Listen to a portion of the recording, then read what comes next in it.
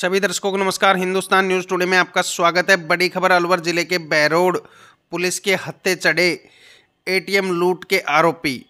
साढ़े पंद्रह लाख रुपए की लूट कर ले गए थे बदमाश। एक महीने पहले एटीएम लूट कर ले गए थे बदमाश।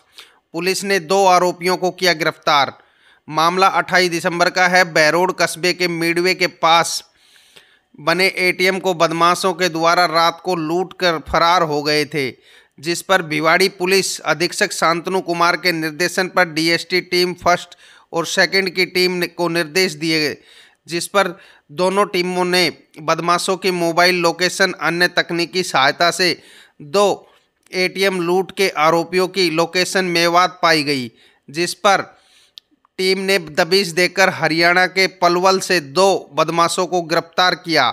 एटीएम लूट के मामले में पाँच आरोपी हैं, जिसमें मास्टर माइंड घासेड़ा का पूर्व सरपंच अशरफ है। अशरफ इस पूरे गैंग को चलाता था।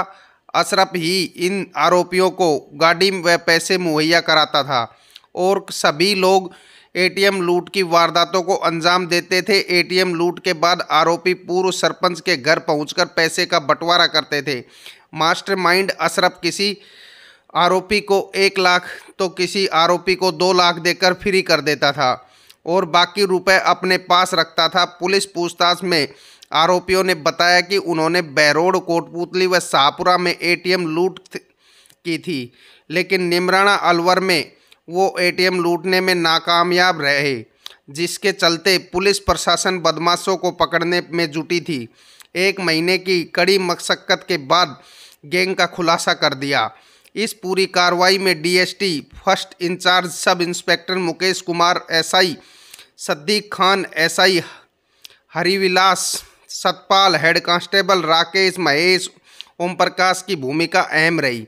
पुलिस आरोपियों को कोर्ट में पेश कर रिमांड पर लेगी ताकि अन्य वारदातों का खुलासा हो सके। आरोपियों ने पुलिस को बताया कि पूर्व सरपंच का भी भतीजा शामिल है। वहीं एटीएम लूट की वारदात के बाद लूटे हुए रुपयों का बंटवारा भी पूर्व सरपंच के घर होता था।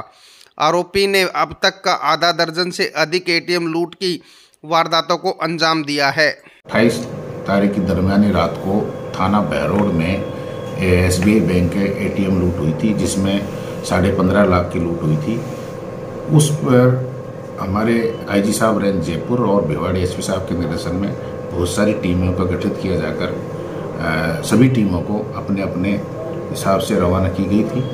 इकतीस तारीख को हमारी डीएसटी की फ़र्स्ट और सेकंड दोनों टीमों को एक लीड मिली थी, जिसमें उनको पता लगा था कि इरफान और अब्बल जो गैंग है, जो नूह ज़िले की है, नूह ज़िले के रहने वाले इन लोगों की गैंग के पीछे फिर दोनों डीएसटी टीमों ने अपना एकाग्रचित होकर के उनका फॉलो किया। तो इनको दो आरोपी जो इसमें अभी पकड़े गए हैं, उनकी मुखबिर से इतला मिली, जिसका उन्होंने पीछा किया और उनको इन्होंने कल रात को ही दस्तयाब करके और हमने अरेस्ट किया